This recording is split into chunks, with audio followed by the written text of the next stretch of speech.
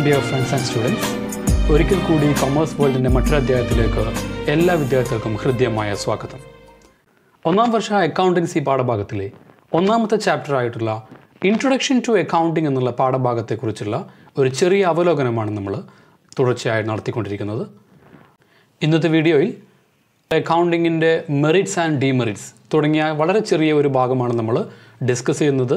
Advantages and disadvantages of accounting എന്തൊക്കെയാണ് അക്കൗണ്ടിങ്ങിന്റെ advantages merit അല്ലെങ്കിൽ ഗുണങ്ങൾ എന്തൊക്കെയാണ്? അതോടൊപ്പം ദോഷങ്ങൾ ലിമിറ്റേഷൻസ് എന്തൊക്കെയാണ്? ഈ രണ്ട് കാര്യം കൂടിയാണ് നമ്മൾ ഇന്നത്തെ വീഡിയോയിൽ ഡിസ്കസ് ചെയ്യുന്നത്. സോ ഫസ്റ്റ് ഓഫ് ഓൾ നമുക്ക് നോക്കാം what are the advantages of accounting ഒന്നാമത്തെ point it's maintenance of business record ഒബ്ജക്റ്റീവാണ് ലക്ഷ്യമായിട്ട് നമ്മൾ പറഞ്ഞതാണ്. ആ ലക്ഷ്യം നിറവേറ്റുക എന്നുള്ളത് തന്നെയാണ് ഈ മെയിന്റെയിനിങ് ഓഫ് ബിസിനസ് റെക്കോർഡ്സ് കൃത്യമായിട്ട് ബിസിനസ്സിലെ കാര്യങ്ങൾ റെക്കോർഡ് ചെയ്ത് വെക്കുക എന്നുള്ളത് അക്കൗണ്ടിങ്ങിന്റെ ഒരു അഡ്വാന്റേജ് ആണ്. കാരണം നമ്മൾ അതിൽ തന്നെ പറഞ്ഞിട്ടുണ്ട് ഫ്യൂച്ചറിൽ എന്തെങ്കിലും പ്രോബ്ലംസ് എറേഴ്സ് ഒക്കെ വന്നു കഴിഞ്ഞാൽ നമുക്ക് ഈ റെക്കോർഡ് ട്രാൻസാക്ഷൻ കൃത്യമായിട്ട് കാണാൻ പറ്റും. അതിൽ നോക്കിയിട്ട് നമുക്ക് എന്ത് ചെയ്യാൻ പറ്റും? ഇതൊക്കെ ക്ലിയർ ചെയ്യാൻ പറ്റും. So this a first advantage of accounting that is maintenance of books of account or business records then the second point preparation of final statements എന്താ ഫൈനൽ സ്റ്റേറ്റ്മെന്റ് ഒരു ഓർഗനൈസേഷന്റെ final statement final result profit and loss അക്കൗണ്ടിലൂടെ നമുക്ക് ബിസിനസ്സിന്റെ final result നമുക്ക് കണ്ടുപിടിക്കാൻ പറ്റും. Profit ആണോ loss ആണോ എന്നുള്ളത്. അതുപോലെ തന്നെ ഫിനാൻഷ്യൽ സ്ട്രെങ്ത് അളക്കാൻ വേണ്ടി നമുക്ക് ബാലൻസ് ഷീറ്റ് പ്രിപ്പയർ ചെയ്യാം. അതിലൂടെ നമുക്ക് ഫിനാൻഷ്യൽ പൊസിഷൻ മനസ്സിലാക്കാൻ പറ്റും. ഈ ഫിനാൻഷ്യൽ പൊസിഷൻ അല്ലെങ്കിൽ ബിസിനസ്സിന്റെ റിസൾട്ട് ഇതിനെയാണ് നമ്മൾ ഫൈനൽ സ്റ്റേറ്റ്മെന്റ് എന്ന് പറയുന്നത്. അപ്പോൾ ഒരു വർഷം നമ്മൾ സാധാരണ ഇതിൽ ഒരു അക്കൗണ്ടിങ് പീരീഡിലാണ് നമ്മൾ അക്കൗണ്ടിങ് പീരീഡ് എന്ന് ഉദ്ദേശിക്കുന്നത്. പന്ത്രണ്ട് മാസം അടങ്ങുന്ന ഒരു വർഷത്തെ ഒരു പീരീഡിലേക്കാണ് നമ്മൾ എല്ലാ ട്രാൻസാക്ഷനും റെക്കോർഡ് ചെയ്ത് വെക്കുന്നു. ആ ഒരു വർഷം കംപ്ലീറ്റ് ആവുന്ന സമയത്ത് നമ്മൾ ആ ഒരു വർഷത്തെ കംപ്ലീറ്റ് ട്രാൻസാക്ഷനും എടുത്ത് അനാലിസിസ് നടത്തി അതിന്റെ final result final statement prepare ചെയ്യുന്നു. ഇതാണ് നമ്മൾ നേരത്തെ പറഞ്ഞ എക്സ്റ്റേണൽ ആൻഡ് ഇന്റേർണൽ യൂസേഴ്സിനൊക്കെ എത്തിച്ചു കൊടുക്കുന്നത്. So there is a second point preparation of final statement and thirdly helps in comparison of result നമുക്ക് ഓരോ വർഷവും ഓരോ പീരീഡിലും ഇത്തരം റിസൾട്ടുകൾ പ്രിപ്പയർ ചെയ്യാൻ പറ്റുകയും ഓരോ വർഷത്തെ റിസൾട്ടിനെ നമുക്ക് കമ്പയർ ചെയ്യാനും അക്കൗണ്ടിങ് കൊണ്ട് സഹായിക്കുന്നുണ്ട്. അല്ലേ? ഇപ്പോൾ കഴിഞ്ഞ വർഷത്തെ റിസൾട്ടും ഈ വർഷത്തെ റിസൾട്ടുമായിട്ട് നമുക്ക് കമ്പയർ ചെയ്യാൻ പറ്റും. ഒരു പക്ഷേ നമുക്ക് റിസ പ്രോഫിറ്റ് കൂടിയിട്ടുണ്ടാവാം. അല്ലെങ്കിൽ പ്രോഫിറ്റ് കുറഞ്ഞിട്ടുണ്ടാവാം. അല്ലെങ്കിൽ പ്രോഫിറ്റ് ഇല്ലാതെ റിസൾ ലോസ് ആയിട്ട് മാറിയിട്ടുണ്ടാവാം. അപ്പോൾ ഇത്തരം കമ്പാരിസൺ നടത്തണമെങ്കിൽ അതിന് നമ്മളെ ആര് സഹായിക്കും? അക്കൗണ്ടിങ് വർക്കുകൾ അക്കൗണ്ടിങ് നമുക്ക് സഹായകമാകും. Then another point is helps in decision making ഇത് നമ്മൾ മുമ്പേ പറഞ്ഞിട്ടുണ്ട്. ഓർഗനൈസേഷനിൽ അക്കൗണ്ടിങ് വർക്കുകൾ ഉണ്ടെങ്കിൽ കമ്പനിയെ സംബന്ധിച്ച് വ്യക്തമായിട്ടുള്ള കൃത്യമായിട്ടുള്ള നല്ല തീരുമാനം എടുക്കാൻ വേണ്ടി അത് ബിസിനസ്സിനെ സഹായിക്കുന്നുണ്ട്. Then another point is good evidence in court നമ്മൾ കൃത്യമായിട്ട് രേഖപ്പെടുത്തി വെക്കുന്നുണ്ട് അല്ലേ എല്ലാ കാര്യങ്ങളും കൃത്യമായിട്ട് രേഖപ്പെടുത്തി വെക്കുകയും ഓരോ വർഷത്തെയും ഓരോ പീരീഡിലെയും ബിസിനസ്സിന്റെ റിസൾട്ടുകൾ നമ്മൾ കൃത്യമായിട്ട് രേഖപ്പെടുത്തി കണ്ടുപിടിച്ച് വെക്കുകയും ചെയ്യുകയാണെങ്കിൽ these are the good evidence in court നമ്മളെ സംബന്ധിച്ച് ബിസിനസ്സിനെ സംബന്ധിച്ച് എന്തെങ്കിലും പ്രോബ്ലംസ് വന്നു കഴിഞ്ഞാൽ നമുക്ക് ഈ റെക്കോർഡ് ട്രാൻസാക്ഷൻസ് റെക്കോർഡ് റിസൾട്ടുകൾ കൃത്യമായിട്ട് തെളിവുകളായിട്ട് നമുക്ക് കാണിക്കാൻ പറ്റും. That is another important advantage of accounting that is good evidence in court then the last point is supply information to the interested ഇനി നമ്മൾ നേരത്തെ പറഞ്ഞു എക്സ്റ്റേണൽ ആൻഡ് ഇന്റേർണൽ യൂസേഴ്സ് ഉണ്ട്. ഇവരൊക്കെ കൃത്യമായിട്ട് അക്കൗണ്ടിങ് ഇൻഫർമേഷൻ ആവശ്യപ്പെട്ടുകൊണ്ട് അല്ലെങ്കിൽ നിരീക്ഷിച്ചുകൊണ്ടിരിക്കുന്ന ആളുകളാണ്.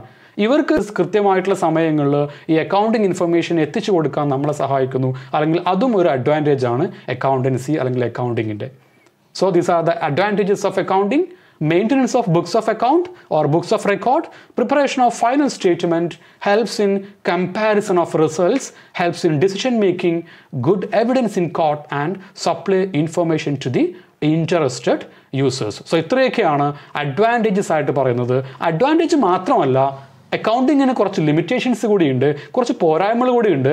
അതെന്താണെന്ന് കൂടി നമ്മൾ ഈ ഒരു വീഡിയോയിൽ നമ്മൾ നോക്കുന്നുണ്ട്. So the disadvantages or limitations of accounting the first point accounting is not fully exact നമ്മൾ ഇത്രയൊക്കെ പറഞ്ഞാലും ഫൈനൽ റിസൾട്ടിനെ പറ്റി പറഞ്ഞു ഫിനാൻഷ്യൽ സ്ട്രെങ്ത്തിനെ പറ്റി പറഞ്ഞു ഇൻഫർമേഷൻസ് കൊടുക്കുന്ന കാര്യങ്ങളൊക്കെ പറഞ്ഞു. But accounting is not fully exact നൂറ് ശതമാനം എക്സാക്റ്റ് ആയിട്ടുള്ള കൃത്യമായിട്ടുള്ള കണക്കുകളാണ് അക്കൗണ്ടിങ്ങിലൊന്നും നമുക്ക് പറയാൻ പറ്റില്ല. ഏറെക്കുറെ ആക്യുറേറ്റ് ആയിട്ടുള്ള ഇൻഫർമേഷൻസിന്റെ അടിസ്ഥാനത്തിൽ മാത്രമാണ് നമ്മൾ അക്കൗണ്ടിങ് കംപ്ലീറ്റ് ചെയ്യുന്നത്. അതല്ല it is not fully exact ഒരിക്കലും നമുക്ക് എക്സാക്റ്റ് ആയിട്ടുള്ള കാര്യങ്ങളാണ് കണക്കുകളാണെന്ന് പറയാൻ പറ്റില്ല. അതുതന്നെയാണ് അക്കൗണ്ടിങ്ങിന്റെ വലിയൊരു ലിമിറ്റേഷൻ ആയിട്ട് പറയപ്പെടുന്നത്. Accounting is not fully exact then the second point ignore the qualitative element നമ്മളിവിടെ ക്വാളിറ്റി നമ്മൾ അളക്കുന്നില്ല. പകരം നമ്മൾ ക്വാണ്ടിറ്റിയാണ് എടുക്കുന്നത്. എത്ര രൂപ നമുക്ക് കിട്ടി? എത്ര രൂപ കൊടുത്തു? എത്ര രൂപയ്ക്കാണ് പർച്ചേസ് ചെയ്തത്? നമ്മളൊരു ബിൽഡിംഗ് വാങ്ങി അതിന് എത്ര രൂപ ചിലവാക്കി? ആ രൂപയുടെ എമൗണ്ടാണ് നമ്മൾ ക്വാണ്ടിറ്റിയാണ് നമ്മൾ റെക്കോർഡ് ചെയ്യുന്നത് അനാലിസിസ് നടത്തുന്നത്. ഒരിക്കലും ആ വാങ്ങിയ പ്രൊഡക്റ്റിന്റെ ക്വാളിറ്റി നമ്മൾ ചെക്ക് ചെയ്യുന്നില്ല. ക്വാളിറ്റി വൈസ് അല്ല നമ്മളൊന്നും ചെയ്യുന്നത്. ക്വാണ്ടിറ്റിയാണ് നമ്മൾ റെക്കോർഡ് ചെയ്യുന്നതും ആ ക്വാണ്ടിറ്റിയിലൂടെയാണ് നമ്മൾ ഇതിന്റെ പ്രോഫിറ്റ് ഓർ ലോസ് എന്നുള്ളത് ഐഡന്റിഫൈ ചെയ്യുന്നതും. So ignoring qualitative elements and show only actual cost but the real value may vary from time to time is another limitation actual കോസ്റ്റിലാണ് നമ്മളെല്ലാം കാണിക്കുന്നത്. ഇപ്പം നമ്മളൊരു ബിൽഡിംഗ് വാങ്ങി. ആ ബിൽഡിംഗ് നമ്മൾ പത്ത് ലക്ഷം രൂപയാണ് കൊടുക്കുന്നതെങ്കിൽ നമ്മൾ ആ കൊടുത്ത പത്ത് ലക്ഷം രൂപയാണ് ബുക്കിൽ എഴുതി വെക്കുന്നത്. അടുത്ത വർഷവും നമ്മൾ ഈ വർഷത്തെ കണക്ക് നോക്കുമ്പോൾ പത്ത് ലക്ഷം രൂപയാണ് ആ ബിൽഡിങ്ങിന്റെ വാല്യൂ ഉണ്ടാവുക. അടുത്ത വർഷം നമ്മളത് വീണ്ടും ആ ബിൽഡിംഗ് പത്ത് ലക്ഷം രൂപയ്ക്ക് എഴുതി വെക്കുന്നു. അടുത്ത വർഷവും പത്ത് ലക്ഷം രൂപയ്ക്ക് എഴുതി വെക്കുന്നു. പക്ഷേ ഓരോ വർഷം കഴിയുമ്പോഴും ഓരോ പീരീഡ് കഴിയുമ്പോഴും ഈ വസ്തുവിൽ ഉണ്ടാവുന്ന മാറ്റം ഈ വസ്തുവിന് അതിൽ വിലയിൽ ഉണ്ടാവുന്ന മാർക്കറ്റ് വാല്യൂ ഉണ്ടാവുന്ന വ്യത്യാസം അത് നമ്മൾ ഒരിക്കലും എവിടെ കാണിക്കാറില്ല അക്കൗണ്ടിങ്ങിൽ കാണിക്കുന്നില്ല. നമ്മൾ എത്ര രൂപ കൊടുത്താണോ വാങ്ങിയത് ആ രൂപയാണ് എല്ലാ വർഷവും എല്ലാ അക്കൗണ്ടിങ് പീരീഡിലും നമുക്ക് അതിന്റെ ചിലവായിട്ട് കാണുന്നത് എക്സ്പെൻസ് ആയിട്ട് കാണുന്നത് ലയബിലിറ്റി ആയിട്ട് കാണുന്നത്. അതേസമയം ആ വസ്തു ഒരു വർഷം കഴിയുമ്പോഴോ രണ്ട് വർഷം കഴിയുമ്പോഴോ അതിന്റെ വാല്യൂവിൽ വ്യത്യാസങ്ങൾ ഉണ്ടാവാം ഒരുപക്ഷെ അതിന്റെ വാല്യൂ ഒരുപാട് കൂടിയിട്ടുണ്ടാവാം അല്ലെങ്കിൽ കുറഞ്ഞിട്ടുണ്ടാവാം. ഇതൊന്നും നമ്മൾ എന്ത് ചെയ്യുന്നില്ല അക്കൗണ്ടിങ്ങിൽ കൺസിഡർ ചെയ്യുന്നില്ല. നമ്മൾ ഷോസ് ഓൺലി ആക്ച്വൽ കോസ്റ്റ് നമ്മൾ എത്രയാണ് ചിലവാക്കിയത്? ആ എമൗണ്ട് മാത്രം ആക്ച്വൽ കോസ്റ്റ് മാത്രമാണ് നമ്മൾ കാണിക്കുന്നത്. But the real value may vary from time to time ഓരോ സമയാസമയങ്ങളിലും അതിന്റെ യഥാർത്ഥ വാല്യൂവിൽ വ്യത്യാസം വന്നുകൊണ്ടിരിക്കാം. Then another limitation using different methods reduces reliability നമ്മൾ ഇതിന്റെ ഫങ്ഷൻസിൽ പറഞ്ഞിട്ടുണ്ടായിരുന്നു റിലയബിലിറ്റി എന്നുള്ളത് അല്ലേ? അക്കൗണ്ടിങ് ഇൻഫർമേഷൻ റിലയബിൾ ആണ് എന്ന് നമ്മൾ ആദ്യമേ പറഞ്ഞിട്ടുണ്ടായിരുന്നു.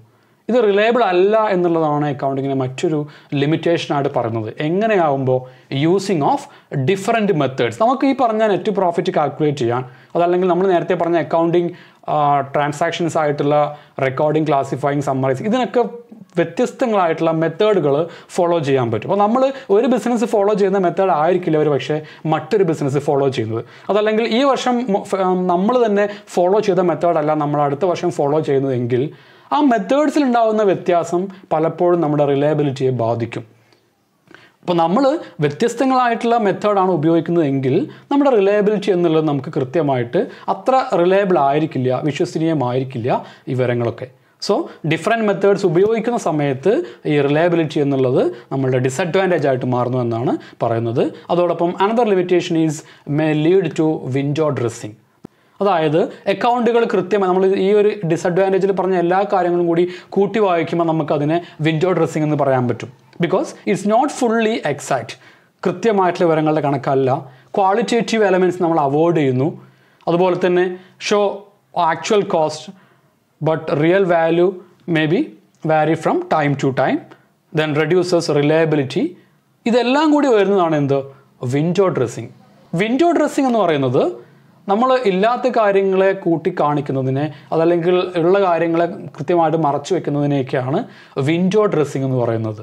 ഇപ്പോൾ അക്കൗണ്ടിങ്സിൽ നമുക്ക് നമ്മൾ പറഞ്ഞു പ്രോഫിറ്റോ ലോസോ കണ്ടുപിടിക്കാൻ വേണ്ടി നമ്മൾ പ്രോഫിറ്റ് ആൻഡ് ലോസ് അക്കൗണ്ട് ഉപയോഗിക്കുന്നു എന്ന് പറഞ്ഞു. ഈ പ്രോഫിറ്റ് ആൻഡ് ലോസ് അക്കൗണ്ട് നമ്മൾ ക്രിയേറ്റ് ചെയ്യുന്നത് ഒരു ഭാഗത്ത് കമ്പനിയുടെ എല്ലാ എക്സ്പെൻസുകളും അതേസമയം മറ്റൊരു ഭാഗത്ത് എല്ലാ ഇൻകവും നമ്മൾ എടുക്കുകയും ഈ എക്സ്പെൻസും ഇൻകവും തമ്മിൽ നമ്മൾ കമ്പയർ ചെയ്യുമ്പോഴാണ് നമുക്ക് ലാഭമാണോ നഷ്ടമാണോ എന്ന് അറിയാൻ പറ്റുക.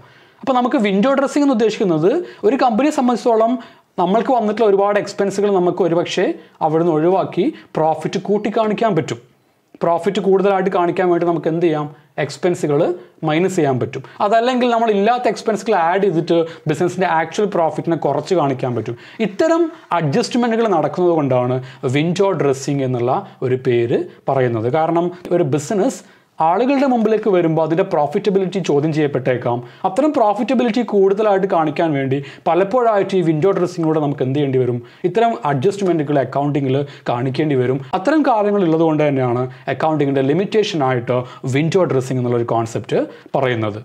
So these are the disadvantages of accounting accounting is not fully exact Ignore qualitative element, show only actual cost, but the real value may vary from time to time. Using different methods reduces the reliability of accounting work, then may lead to window dressing. So these are the limitations or disadvantages of accounting. So ഇത്രയും നേരം ഈ video കണ്ട് നിങ്ങൾക്ക് കൃത്യമായിട്ട് കാര്യങ്ങളെക്കുറിച്ച് മനസ്സിലായിട്ടുണ്ടാവും വിചാരിക്കുന്നു അടുത്ത വീഡിയോയുമായി നമുക്ക് അടുത്ത ക്ലാസ്സിൽ അടുത്ത ടോപ്പിക്കുമായിട്ട് നമുക്ക് അടുത്ത പാർട്ടിൽ കാണാം അതുവരെ എല്ലാ വിദ്യാർത്ഥികൾക്കും നന്ദി നമസ്കാരം